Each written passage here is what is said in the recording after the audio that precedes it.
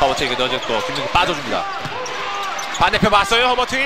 김효범 성공. 아, 결국은 일 선수가 지금처럼 말 여유 있게 더블팀 들어오는 걸 보고 패스한테 빠르게 내주니까 말이죠. 김효범 선수에게 찬스가 나는 거예요. 김효범의 3포인트 다시 20점 차.